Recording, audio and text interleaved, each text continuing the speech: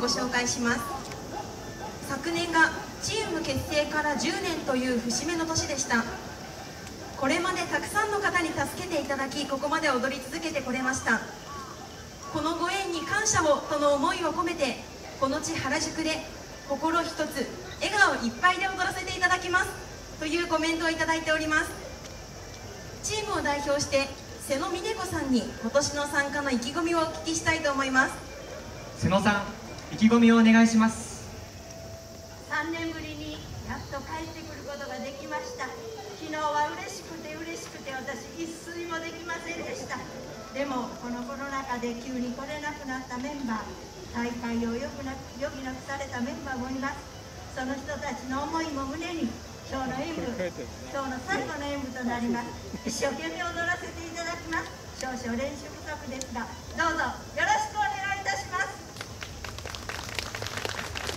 ありがとうございましたそれでは準備をお願いします